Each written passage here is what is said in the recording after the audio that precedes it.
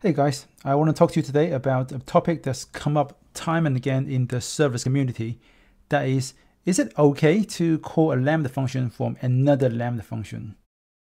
And if you publicly admit to calling functions directly like this, then you'll probably raise a few eyebrows in the room.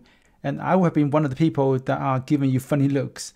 But over the last couple of years, I've seen a lot of different contexts and situations and it's made me think that there's more to this topic than Mr. I, and uh, there are more nuances that need to be discussed. That being said, let's talk about why lambda to lambda calls are often frowned upon. In most cases, a lambda function is just an implementation detail, and it shouldn't be exposed as the system's primary API.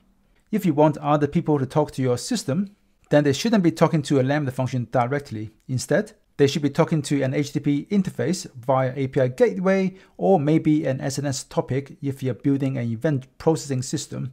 This allows you to make changes later without having to also change the external facing API of your system.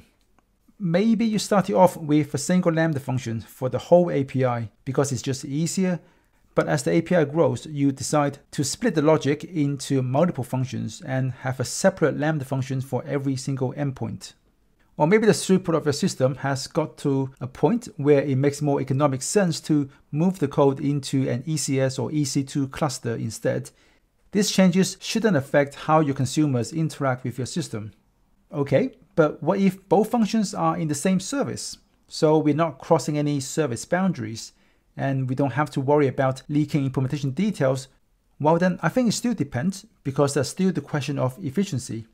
If you're calling the second function synchronously, where the first function waits for a response from the second function, then you are paying for extra invocation time and the cost.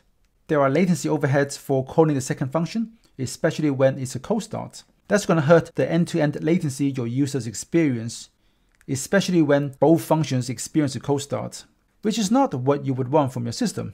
Plus, you will pay for the second function's invocation, and while it's running, you will also be double paying for its invocation time because you are still paying for the first function, which is just sitting there waiting for response.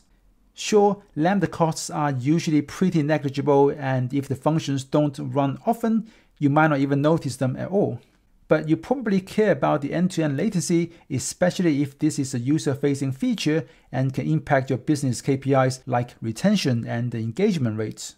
So in these cases, you're better off just merging the two functions into one and do everything inside one single Lambda function. And you can still achieve separation of concerns and modularity at the code level. You don't have to split them into multiple Lambda functions. But what if you're trying to offload some CPU intensive work or time consuming work from your API function so it can return quicker? Then I think it's all good here. So long as both functions are in the same service and they're both owned by you and not some other team in your company. And don't forget to configure a dead letter queue or an on failure destination for this second function. As a rule of thumb, you should always have a DLQ or on failure destination for any async functions.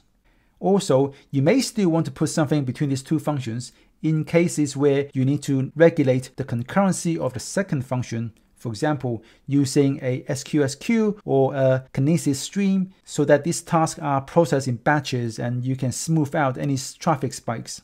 This is especially important when dealing with downstream systems that aren't as scalable as Lambda. So to answer the question posed in the title of this video, it all depends on what it is you're doing. And to help you decide, here's a decision tree for when you should consider calling a Lambda function directly from another. I hope you have enjoyed this video and if you have, please like and subscribe to help this channel grow. I post videos on AWS and uh, serverless every week and hope to see you guys again soon. Until next time, stay safe.